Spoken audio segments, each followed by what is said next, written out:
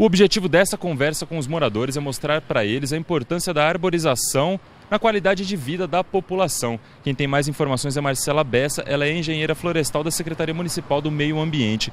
Marcela, vocês fizeram um levantamento sobre a condição das árvores desses dois bairros, né? Qual que é a situação?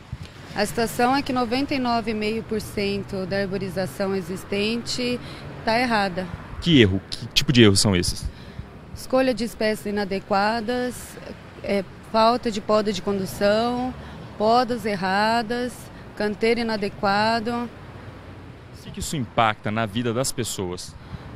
A arborização, em vez de exercer o seu papel ambiental, que pode auxiliar na retenção da poluição atmosférica, na diminuição das é, enchentes, na diminuir é, significativamente ilhas de calor, ela acaba ficando de lado e, em vez disso, acaba sendo mais um incômodo a arborização, porque as pessoas não conseguem passar, não conseguem enxergar.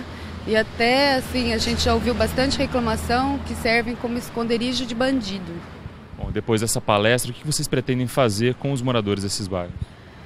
Auxiliar o plantio com assistência técnica, a escolha mais adequada e estar tá, é, monitorando a longo, a longo prazo.